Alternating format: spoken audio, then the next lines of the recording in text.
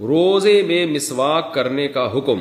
रोज़े के दौरान मिसवाक करना कैसा है? नीज अगर मिसवाक करते हुए थोड़ा सा खून निकल आए तो क्या हुक्म है? रिफत साहिबा डेरा गाजी खान से। रोज़े में मिसवाक करना ना सिर्फ़ जायज़ है, बल्कि सुन्नत है। आप सल्लल्लाहु अलैहि वसल्लम बहुत कसरत से रोज़े में मिसवाक किया करते थे।